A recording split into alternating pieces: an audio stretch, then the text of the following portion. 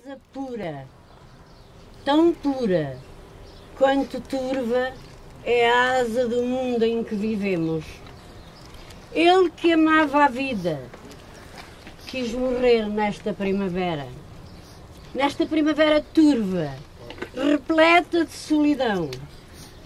Ele que amava a vida, fechou os olhos para não ver a podridão onde mergulham os chacais, os abutres sem alma, cauda de leque como qualquer pavão, corpos de mármore frio e liso, onde nada está escrito, olhos de gelo do aço dos punhais, que golpeiam como armas mortais, sem escrúpulo, sem vergonha e sem perdão. Sim, perdoar era deixar impune esta emulação. Com fogo por dentro, dignidade de ser e estar nele, na vida que ele amava com honra e retidão. Sim, perdoar era esquecer para sempre os seus olhos abertos de pomba cansada, temerosa, a roçar a ara do sacrifício ditado por uma horda de bárbaros em honra de um qualquer deus pagão.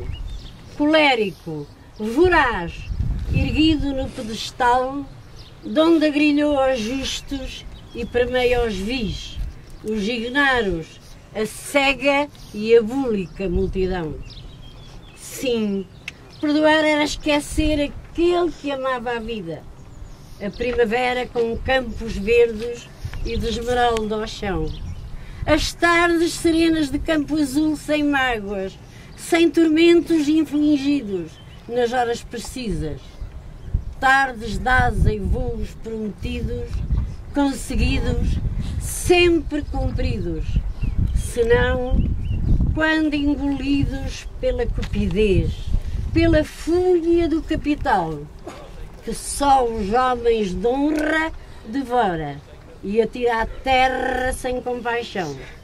À terra que os engole, num dia de primavera, semeada de verde sem esperança, envolta num manto de luz, que de tanto amar leva consigo para o céu, deixando-nos sós, mas firmes e decididos na nossa vontade de lutar.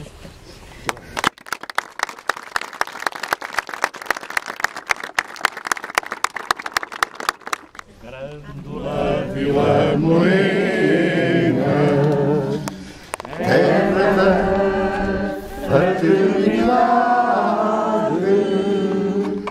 O povo é quem mais ordena, dentro de ti, cidade. Dentro de ti, cidade.